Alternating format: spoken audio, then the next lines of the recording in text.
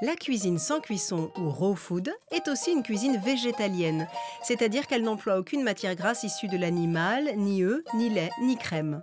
Difficulté supplémentaire dans notre recette de tarte à l'oignon, on n'emploie pas de farine de blé car consommée crue, elle n'est pas digeste. On va commencer par faire une pâte. Donc Alors, sans farine, sans œufs, sans beurre, sous vos yeux ébahis. Non, en revanche, il faut un mixeur, ça c'est très Ouais, il important. faut un mixeur. Donc là, je vais jeter Tes sauvagement les Ah amandes. de le faire hein sauvagement. Non. D'accord. Les amandes réduites en poudre, Marie-Sophie va rajouter des graines de sarrasin, elles aussi mixées, du sel, de l'huile et une touche de pâte de coco pour amalgamer et donner du goût. Et là, je mixe tout ça et ça va me faire une pâte.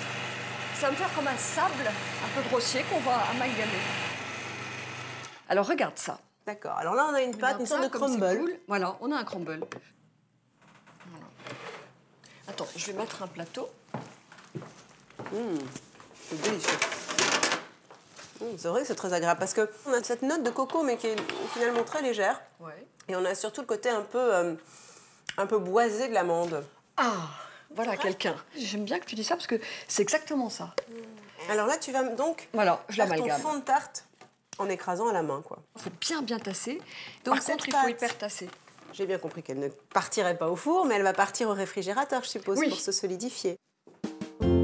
Son fond de tarte terminé, il est temps de passer à l'appareil de cette tarte à l'oignon que l'on ne cuisine pas puisqu'il n'y a pas de cuisson mais que l'on crusine. On va mettre les noix de cajou.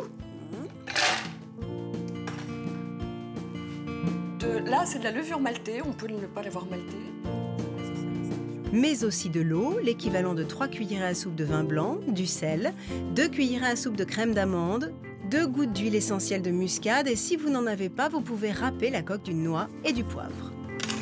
Bon, un petit coup, là. Et qu'est-ce qui t'a éveillé à la cuisine crue, finalement? Une rencontre? Ah ça sent bon.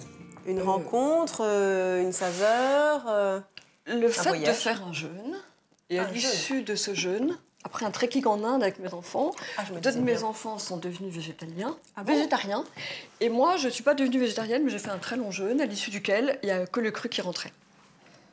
qui rentrait, c'est-à-dire que tu ne Je pouvais manger que cru. rien. Oui. Je commence tout petit. Et là, je vais vraiment unifier complètement la crème. Voilà.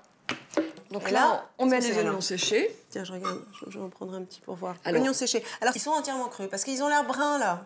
Ils n'ont pas du tout été euh, cuits auparavant. Non, c'est juste. le- Non, non, surtout pas. Euh, ils deviennent comme ça quand ils sont un petit peu euh, oxydés quand même pas. Mais c'est vraiment plus une soufflerie qui va enlever l'eau qu'une chaleur. On rajoute un peu de miso d'orge, une sorte de fromage végétal, puis de l'agar-agar, un gélifiant à base d'algues, et deux minutes plus tard, c'est prêt. C'est ça, notamment Voilà. Et ben, il C'est est devenu dur. solidifié. Comme, après une cuisson. Ouais. Regarde déjà comme elle a pris. Mm, C'est vrai que c'est très appétissant. Elle hein. est déjà un peu prise. Quelques petits oignons déshydratés pour agrémenter la tarte, et il ne reste plus qu'à la réserver une heure au frais. Pour refaire cette tarte à l'oignon, il vous faudra un mixeur ultra puissant, mais aussi dénicher des produits qui n'existent certainement pas dans votre cuisine.